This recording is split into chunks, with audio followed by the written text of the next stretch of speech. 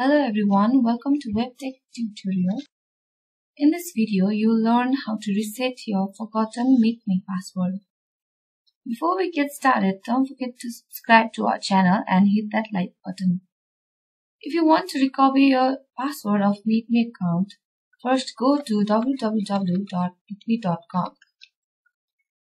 On the top right corner, click on Member Login button. Here you will see the forgot password link. Click on this forgot password link. Enter your email address here that you have used while creating your MeetMe account. Click on submit button and you will receive a password reset link on your email. Click on the link sent by MeetMe on your email and you are finally done resetting your MeetMe password. Thank you so much for watching the video. Don't forget to hit the like button and subscribe to our channel.